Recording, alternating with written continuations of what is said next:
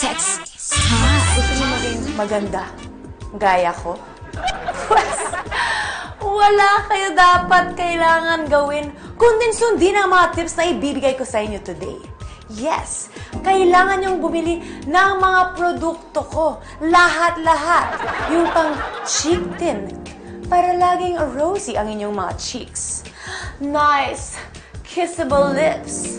Ang kailangan nyo, kaya kailangan nyo ng mga lipstick ko. At syempre naman, para maganda ang inyong buhok, kailangan din nyo ang cuticle coat.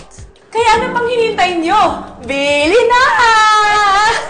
Uy, Ano?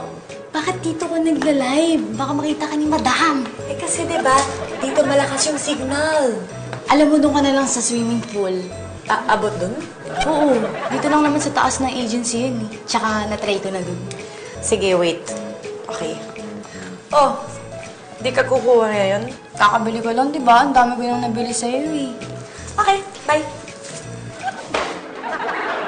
Bakit mo? Bakit mo? Ba't mo pinutol? Magagalit yung fans ko. Ang dami kayo nanonood sa akin. Ba't ka dito nagla-live? Baka makita ka ni Madam. Ano mo, wala. Wala si madam. Nakita ko siyang lumabas. Kaya nga... Wala si Madam! Sige, sige. Ako dito mag-live. Hawakan mo. Ayan, tulungan mo ako. Ayan. Okay. Ano to? Cameraman ako? Ibig kita ng kape mamaya. Sige, go. Okay. Go, go ba? Go, go, go, go, go. Hi guys! Miley here, coming live again for you guys. And ladies, today is for you. Dahil may products ako na pwede kayo maging seductive sa inyong mga mister. Wait no longer. Kasi mag enjoy din ang lahat ng mga boys na manonood ngayon. Are you ready? Ito, ang first product ko.